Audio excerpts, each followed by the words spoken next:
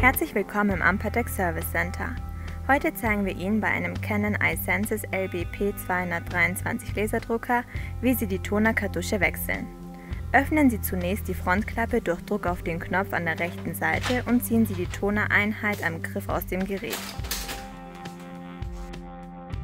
Wir verwenden für den Austausch natürlich unser hauseigenes Ampertec-Produkt mit 5 Jahren Garantie.